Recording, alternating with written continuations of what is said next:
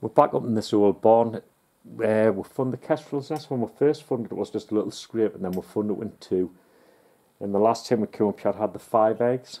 It might even have six chicks there, no? Wait, five, five or six. Um, but no, it's got little chicks. They're, they're still just little balls of fluff, so they're, they're not that old actually.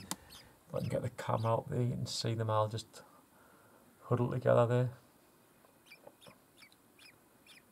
Can't tell, but you're there. They're not e- going to try and get them feeding, weren't we? Uh, they're not even a week old. But we've actually seen the kestrel coming in with a feed on the way here, so As I as I come in, the the kestrel flew out, the female one, so they're not going to be coming back any in a hurry to feed.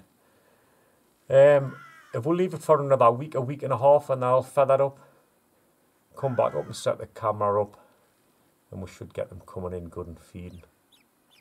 As you can see, you can see them all there just huddled together.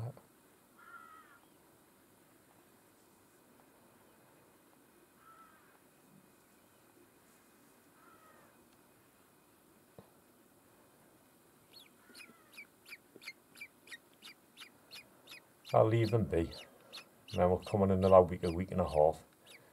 See if we can get some good footage.